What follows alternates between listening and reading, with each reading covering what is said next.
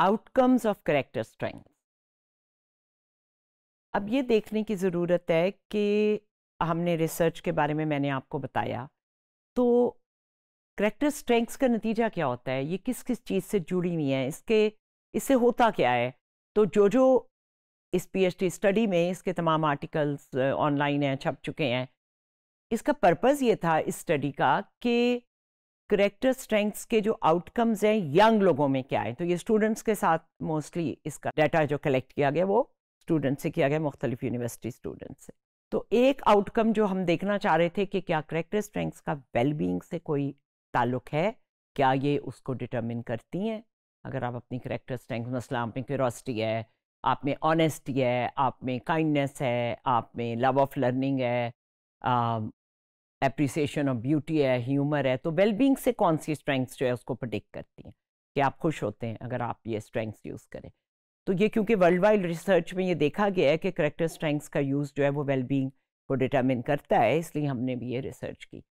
Mental health से इसका क्या कनेक्शन है? इस पर भी पहले रिसर्च बाकी कल्चर्स में हुई हुई है, पाकिस्तान में नहीं हुई थी, क्योंकि पहली दफ़ा इस इन्वेंट्री को उर्दू में ट्रांसलेट किया गया और इसको अब बहुत लोग लेकर यूज़ कर रहे हैं। तो तीसरा ये मेंटल हेल्थ में ये देखा कि जो लोग यंग लोग काउंसलर के या थेरेपिस्ट के या कॉलेज की काउंसलिंग सर्विस में जाते हैं और जो नहीं जाते, ना ज़रूरत महसूस करते हैं, क्या उनकी करेक्टर स्ट्रेंथ्स में कोई फ़र्क है? ये भी छप चुका है आर्टिकल गवर्नमेंट कॉलेज के जर्नल में और यही निकला कि वो लोग अपनी स्ट्रेंथ्स को यूज़ कर रहे हैं और वो बेहतर कोपिंग कर रहे हैं अपने स्ट्रेसर से। प्रो सोशल बिहेवियर से मुराद ही होता है लोगों के लिए बेलॉस काम करना, लोगों की मदद करना वॉल्ट्री एक्टिविटीज़ में हिस्सा लेना कॉलेज की सोसाइटीज़ हैं यूनिवर्सिटी में ऐसी बॉडीज़ हैं जहाँ आप बहुत सी वॉल्ट्री एक्टिविटी करते हैं और ये सीखते हैं कि लोगों की मदद कैसे की जाती है। इसमें कोई फ़र्क है तो वाकई जो लोग अपनी स्ट्रेंथ्स यूज़ कर रहे थे, जिनमें सोशल आईक्यू था, जिनमें काइंडनेस थी, जो करेज रखते थे, जिनमें जेस्ट था, जज्बा था, वो ज़्यादा प्रो सोशल बिहेवियर यूज़ कर रहे थे। सेल्फ एफिकेसी को इन्फ्लुएंस करता है, आप करेक्टर स्ट्रेंथ को यूज़ करते हैं, आपका अपनी जो सलाहियत है उस पर अतमाद बढ़ता है और जब वो अतमाद बढ़ता है तो आपकी कॉलेज एडजस्टमेंट बेहतर होती है और फिर आपकी वेलबींग भी बेहतर होती है। तो ये एक पूरा मॉडल है you can go and see this thesis in the library but you can also find the articles online कुछ स्ट्रेंथ्स एक बड़ी हमें एक अजीबो गरीब फाइंडिंग हुई। अजीबो गरीब तो नहीं, लेकिन एक सरप्राइजिंग फाइंडिंग थी। कि जब फ़र्स्ट ईयर में आए हैं फ़र्स्ट सेमेस्टर में यूनिवर्सिटी के स्टूडेंट्स तो जो स्ट्रेंथ्स वो यूज़ कर रहे थे और जो उनकी वेलबींग थी, वो थर्ड सेमेस्टर में कुछ कम हुई थी।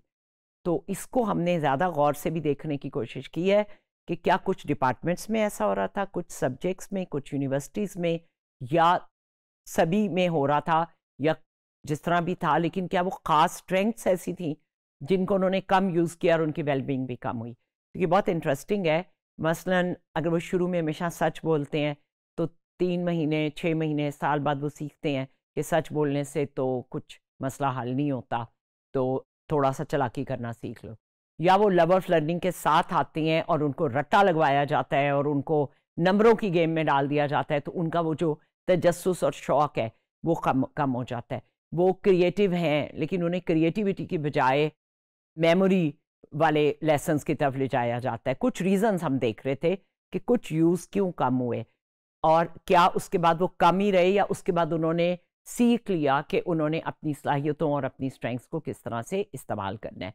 तो this is a great learning that we had by applying the character strengths model and scale and inventories in Pakistan among the young persons between the age of uh, 18 to 25 and uh, this model came up with an indigenous classification. इसका मतलब ये है कि जो American authors ने शुरू में सोचा था कि छः हैं तमाम कल्चर्स में छः नहीं साबित हुई। किसी में तीन खसाइस हैं और करेक्टर स्ट्रेंथ सबकी हैं वही हैं लेकिन वो तीन के अंडर जा रही हैं चार के अंडर जा रही हैं पाँच के अंडर जा रही हैं तो हमारा ये चार का मॉडल बना और ये सब जो है ये कल्चरल कॉन्टेक्स को समझे बगैर नहीं हो सकता था।